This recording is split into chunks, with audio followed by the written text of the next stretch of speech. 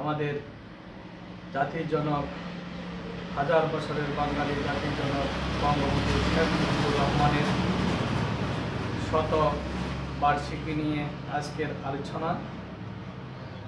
আমি সেই আলোচনায় আমি আমাদের হাজার বছরের শ্রেষ্ঠ বাঙালি জাতির জনক বঙ্গবন্ধু শেখ মুজিবুর রহমানকে আমি আমাদের বোসপুরবাসী এবং আমাদের বোসপুর ইউনিয়ন যুবলীগের পক্ষ থেকে আমি ওনার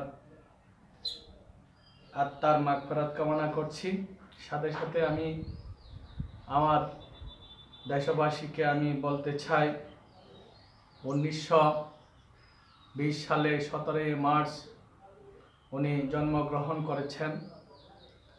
উনি উনিশশো পঁচাত্তর সালের পনেরোই আগস্ট উনি কাতকদের হাতে নির্মমভাবে শহীদ হয়েছেন। আমি সেই ঘাতকদের প্রতি আমি আজকের শতবার্ষিকী উপলক্ষে আমি তীব্র নিন্দা জানাচ্ছি।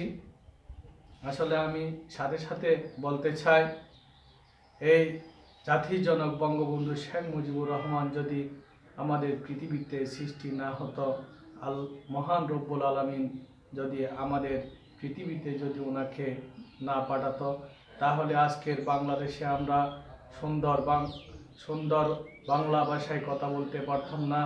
একটা লাল সবুজের পতাকা পেতাম না, সুন্দর একটি সুন্দর মানচিত্র পেতাম না, আমরা একটি সুন্দর বাংলাদেশ পেতাম না।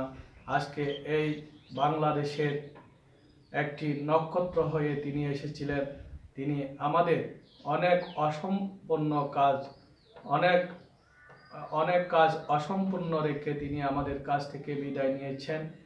তিনি বর্তমানে আমাদের কাছে তার, ওনার দুই কন্যা সন্তান রেখে গিয়েছেন। একজন শেখ, মাননীয় শেখ হাসিনা, আরেকজন আমাদের শেখ রেহেনা। এখন বর্তমানে দুইজনের নেতৃত্বে আমাদের সেই অসম- অসমাপ্ত কাজকে ওনারা বঙ্গবন্ধুর অসমাপ্ত কাজকে সুন্দর করে এগিয়ে নিচ্ছেন। ইনশাল্লাহ আগামীতে এগিয়ে নেবেন। আরও সুন্দর করে বাংলাদেশ ডিজিটাল রূপে রূপান্তরিত করবেন। সে আশা, প্রত্যাশা রেখে আমি আমার সংক্ষিপ্ত বক্তব্য শেষ করলাম। জয় বাংলা, জয় বঙ্গবন্ধু, বাংলাদেশ চিরজীবী